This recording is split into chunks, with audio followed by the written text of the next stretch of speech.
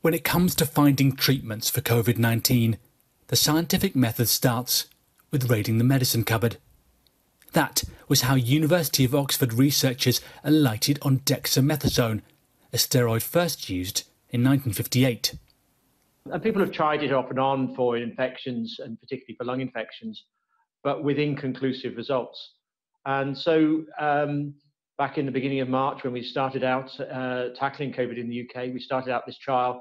It was an obvious candidate. I don't think any of us had huge expectations that it would work.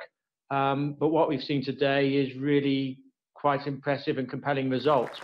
Many drugs have been tried since the start of the pandemic. President Trump has touted the benefits of hydroxychloroquine. I'm taking it, hydroxychloroquine. Right now, yeah.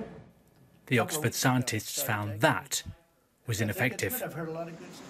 Key to their success has been assessing every drug with a large clinical trial, an area where the UK can genuinely claim to be world beating.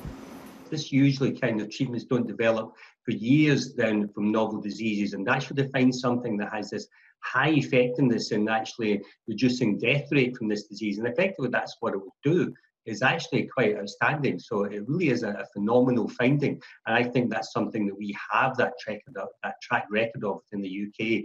Dexamethasone only helps the sickest patients, so it's far from a cure.